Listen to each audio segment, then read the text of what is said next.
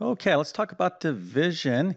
And specifically, we're going to be talking about division words or really terminology when we are doing a division problem. So, this uh, video, just to be clear, is not how to divide numbers. I have separate videos on this. So, if you're thinking that's what this video is, that's not what this is. But when you divide numbers, the numbers involved in a division problem have a certain specific term or um, kind of definition that goes with them. Okay, so let's take a look at this example. 48 divided by 6 is equal to 8. There is a specific word that we would call 48 for this particular problem. Same thing with 6 and same thing with 8. So if you know uh, how or what role each one of these numbers is playing in this particular division problem or what we would call these numbers in their various places, put your answer into the comment section, uh, kind of test to see where you're at.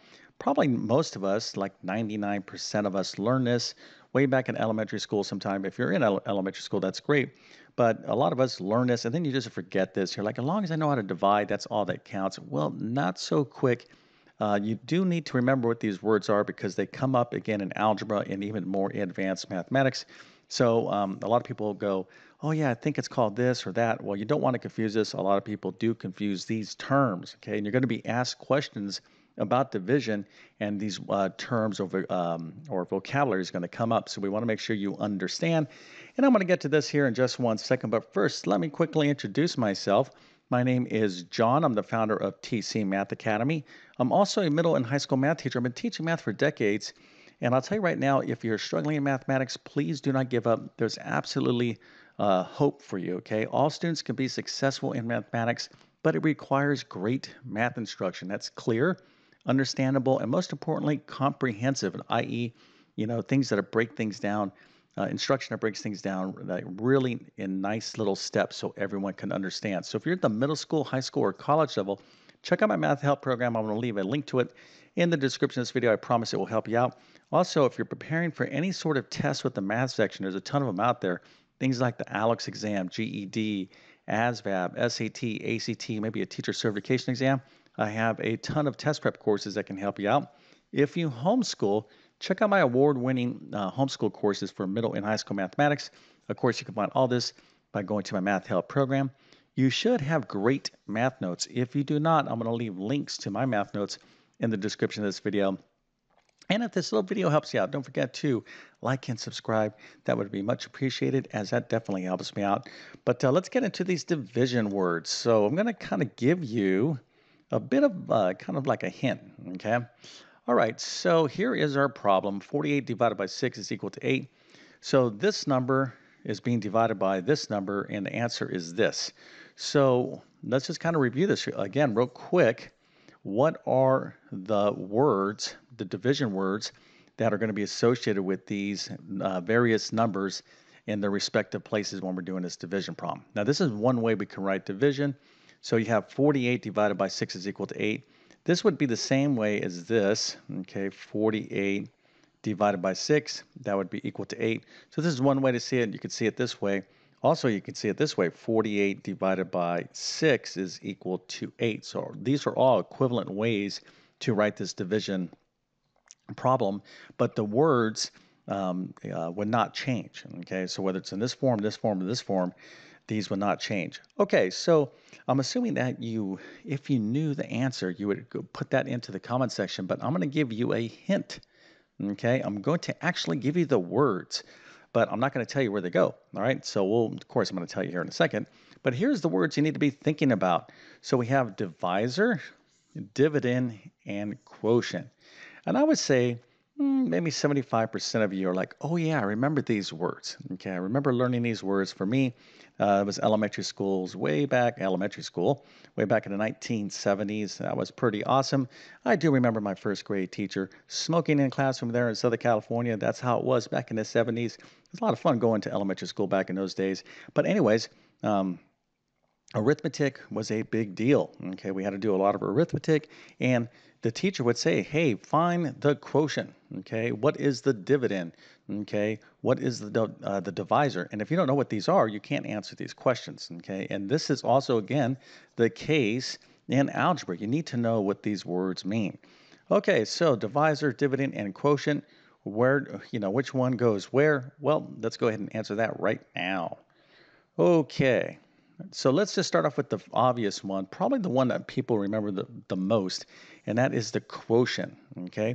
The quotient is the answer or the result of doing a division problem, okay? So when you divide two numbers, the answer you get is the quotient. See, it's very much, it's kind of similar to this. If I have 3 times 2 and my answer is 6, this is multiplication, so I'm finding the product, okay? So the product of 3 and 2 is 6, okay? So that's the product, it's the result of doing multiplication. The result of doing division is called the quotient, okay? So if you got the quotient right, that's excellent. Let's go ahead and start with this number here, 6. Actually, let's not do that. Let's start with 48, okay? So 48 is being divided by 6. 48 would be uh, referred to as the dividend, okay? And the dividend is being divided by the divisor, okay? So this number here, let's go and write it this way actually, uh, 48 divided by 6. 48 is the dividend, okay? The dividend, D-I-V-I-D-E-N-D, I'll just write that out. And then this is the divisor, okay? And of course, we write our answer up here in this particular form, 8, this is the quotient, okay? All right, so it's pretty straightforward, but there's a few more examples I want to kind of go over. And again, a lot of people get, uh, generally, I think if they remember anything about this, they'll get the quotient right, but they'll forget which one is the divisor and which one is the dividend. And it's important, okay, because you will be asked questions, hey, find the dividend, what's the, what's the divisor, etc. All right, so let's go ahead and check your uh, knowledge right now. So we have 25 divided by 5 is equal to 5. All right, so what is the dividend? What is the quotient? What is the divisor? Let's go ahead and answer this real quick. But before I show you the answer, you should think about it for about 10 seconds and then answer the question. Okay, make sure you're actually learning from this video. But let's go ahead and answer this right now. Okay, so again, this is just basically rote memory. If we have 25 divided by 5, you don't know what that word rote means. That just means like good old flashcard memory. Just kind of like, you know, uh, look study this stuff enough times so it just goes into your memory because really it's just terms you have to um, you know uh, remember okay? There's no really no fancy way to remember this stuff. I would say start off with the quotient okay? The quotient is going to be the result of doing division. So this is 25 divided by 5 the answer is always going to be the quotient. So 5 in this case right here although we have two fives this 5 right here is going to be referred to as the quotient. It's the answer from doing division. Okay, so the larger number, the number that we're going to divide is the dividend. So 25 would be the dividend, and then that's going to be divided by the divisor. In this case, this would be 5. Okay, so hopefully got that right. Again, this is just basic review, but now let's go ahead and uh, up the ante a bit and give you a little bit of a twist uh, so here is a division problem. Okay, this is different than the ones I showed you. So I have uh, 21 divided by 4. Let's just kind of quickly review this, right? So that would be what? 5 can go into 21, 4. So 4 times 5 is 20. So we subtract 1, and now, boom, we're done, right? I'm not saying the words, okay? But we're taking 21 divided by 5. We get 4, and then we have this thing. So what are these numbers referred to? Okay, well, think about the other terms I just showed you. There is one additional twist. Hopefully, you, you remember what this is. It's going to be super intuitive when I show you your options right now. Okay, so let's take a look at it. So we have divisor, quotient, dividend, and then we have this new uh, term remainder. Okay, so hopefully that's pretty obvious to you that the R is the remainder. This is generally the way uh, it's written, kind of like in more elementary school. You can write this as a fraction like 4 and 1 fifth. Okay, you can do that as well. So again, I just want you to um, get really familiar with the terminology when it comes to division because sometimes when you divide, okay, you're not going to just have a nice, lovely quotient. Sometimes you have a quotient Okay, in this case, what's our quotient? Okay, our quotient is going to be our answer, right? So um, I'm going to kind of step back here for a second because I want you to think about these other terms because the remainder is clearly this guy right here. We have remainder equals 1. All right, let's go ahead and answer the final question here. So um, 21 divided by 5, well, the 21 is the dividend, okay? it's being divided by 5. That's the divisor. Our answer is the quotient, but that's 4.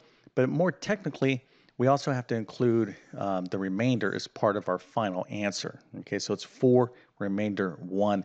So sometimes the answer to a division problem will just be the quotient or the quotient and the remainder.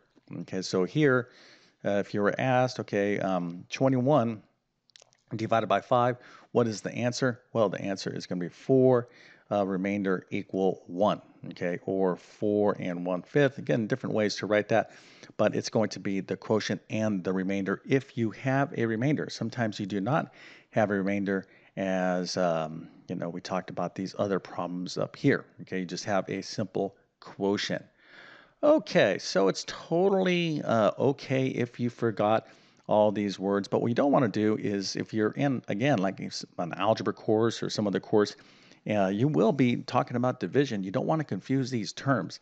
And again it's you know uh, it's not that difficult. It's just something that you need to kind of brush up and review and hopefully this little video uh, did that purpose. And if that is the case, don't forget to like and subscribe.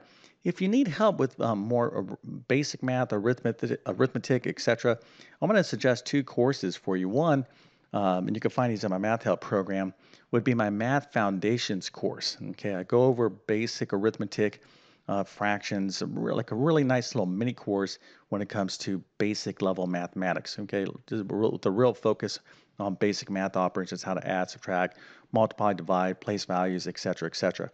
Um, but if you need something a little bit beyond that, I would also check out my pre-algebra course as well. All right, so with that being said, I definitely wish you all the best in your mathematics adventures. Thank you for your time and have a great day.